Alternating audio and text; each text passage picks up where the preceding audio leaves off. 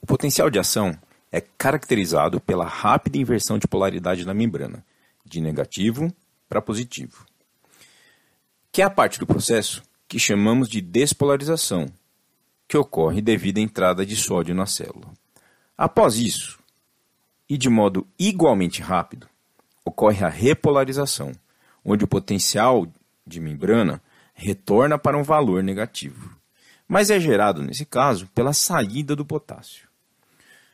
Veja, podemos muitas vezes observar, após esse processo de repolarização, o alcance de um valor negativo de maior magnitude absoluta do potencial de membrana em relação ao valor do potencial típico de repouso. Quando acontece isso, estamos num estado que chamamos de hiperpolarização. Tá? Independentemente disso, após a repolarização, o rearranjo dos cátions sódio e potássio é crucial para levar a membrana para seu estado de repouso, algo amplamente promovido pelas bombas de sódio e potássio presentes na membrana. Muito bem, se você não lembra dos detalhes dessa discussão, assista novamente os vídeos anteriores, pois vale a pena você rever para ficar sem dúvidas. Não fique boiando.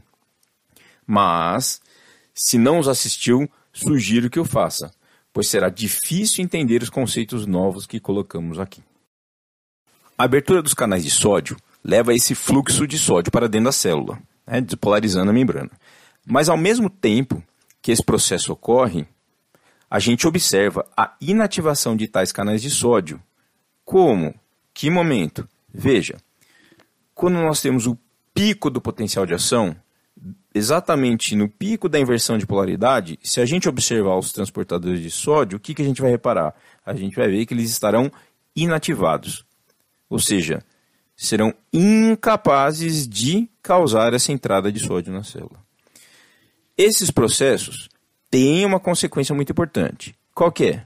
Então, devido a isso, né, devido a esse fato dos canais de sódio não conseguirem de imediato promover entrada de sódio na célula, nós não conseguiremos observar potenciais de ação se acumulando, um novo potencial de ação ao mesmo tempo. Tá? Isso não acontece na célula. Ou seja, em suma, assim, tá? Durante um breve período de tempo, é impossível a geração de um novo potencial de ação.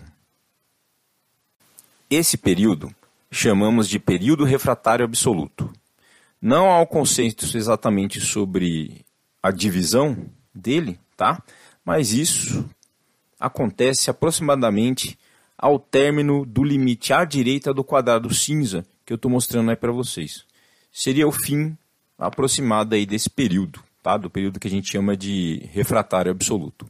Agora, desse ponto até o fim da hiperpolarização, ou até o restabelecimento do potencial de repouso, aí a membrana pode gerar um novo potencial de ação.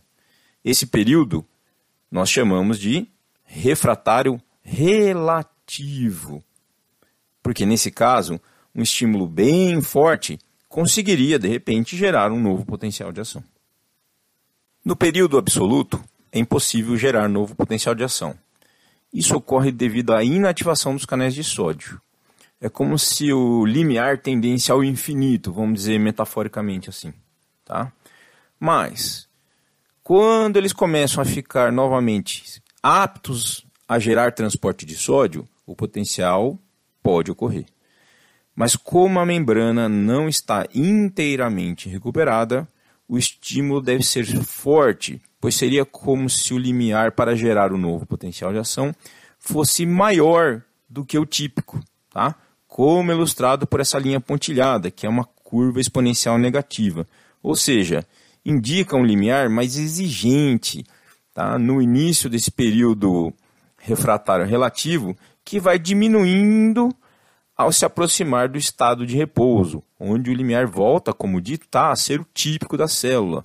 Né? Quando a membrana está no seu estado de repouso, o estado de repouso está recuperado, né? a gente vê a maior parte do sódio fora da célula e a maior parte do potássio dentro da célula. Então tem um grande gradiente para o sódio entrar na célula e despolarizar a membrana. Tá? E se você tem dúvida também sobre isso, assista novamente nossos vídeos anteriores. E fica assim, então, delimitado os períodos refratários. O absoluto, quando não é possível gerar um novo potencial de ação, e o relativo, que é possível ter a geração de um novo potencial de ação, desde que o estímulo seja muito forte.